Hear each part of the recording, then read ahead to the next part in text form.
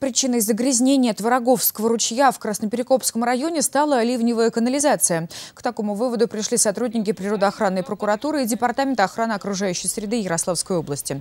Напомню, в прошлом месяце мы рассказывали о нечистотах, которые через ручей попадают в Котрасль. За один день вода стала непригодной для людей и обитателей водоема. Сильный запах и пена обеспокоили местных жителей.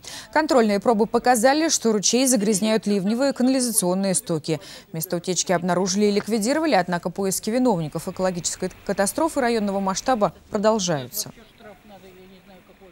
Прошли э, от устья э, впадения этого ручья в Котрасль до предполагаемого источника. Все же мы его установили. Это ливневой коллектор, который э, проходит по улице Загейма и улице 8 марта. На основании результатов анализов было возбуждено административное производство и проводится административное расследование для установления всех причин и виновников попадания канализационных стоков.